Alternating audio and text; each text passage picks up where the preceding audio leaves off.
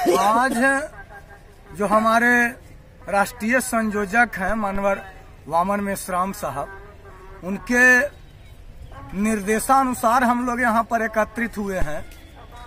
NRC, national register of citizen और CAB, citizen amendment bill के खिलाफ में 550 जिलों 3000 अनुमंडलों में धरना प्रदर्शन आयोजित किया गया है। जिसके आलोक में आज हम लोग यहाँ पर S C S T OBC, minority के लोग एकत्रित हुए हैं औरंगाबाद में।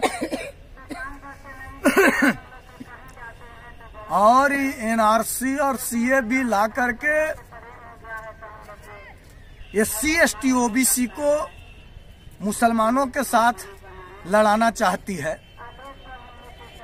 ये संदेश हम मूल निवासी बहुजन समाज के लोगों को देना चाहते हैं कि इससे केवल मुसलमानों को ही नुकसान नहीं है। ये C S T O B C भी इस बिल से वंचित रह जाएँगे।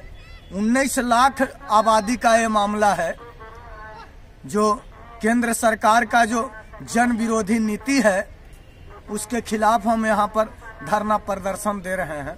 सत्ता पर अनियंत्रित कब्जा है तो लोग जो मन सो कर रहे हैं, संविधान के विरोध में फैसला ले रहे हैं तो जब हम सत्ता पर काबिज होंगे तो हमारे समय में voter ID card, Aadhaar card, ये सब नहीं होगा। हमारे समय में डीएनए कार्ड ही होगा। बाबा साहब ने संविधान बनाया, वो संविधान का हक किसी भी लोगों को, पचासी परसेंट लोगों को मिलने नहीं जा रहा है। जिस तरह सरकार ने फैसला लिया है, वो हमारे हक के खिलाफ है और हक की लड़ाई के लिए हम हमेशा लड़ते हैं, लड़ेंगे और लड़ते रहेंगे। चाहे इसके लिए मेरी ज़िंदगी रहे या जाए। लागू किया है ये देशद्रोही देश विरोधी, संविधान विरोधी कानून है कि भारत में जो ब्रह्मणवादी व्यवस्था कायम है और संविधान के विरोध में हर फैसला लिया जा रहा है, यह साबित होता है कि कहीं न कहीं उनको यह शंका हो गई है कि हम ही विदेशी हैं।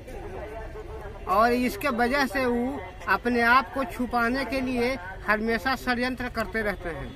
क्योंकि अभी विनोद यादव जी बता रहे थे डीएनए टेस्ट के बारे में पूछा आप लोगों ने कि डीएनए रिपोर्ट क्या है? तो इन्होंने बताया तो इस तरीके से ये लोग जो डरे सहमे हुए हैं, अब इस तरीके से ऐसा ये लोग फैसला ले रहे हैं। लेकिन हम अपने समाज को यह कहेंगे, इस धारणा के माध्यम से कि जो यह एनआरसी और सीएबी बिल जो लाया गया है, यह मुसलमानों के विरोध में नहीं है, बल्कि हम, हमारे समाज के जो हिंदू में कहे जाने वाले जो लोग S C S T OBC के लोग हैं, उनके विरोध में है और मुसलमानों को टारगेट करके हमको जो ऊपर अत्याचार करने के लिए यह नीति को लाया गया है। साथियों, नेशनल जनमंच को सब्सक्राइब करें, साथ ही बेल आइकन की घंटी को बजाएँ।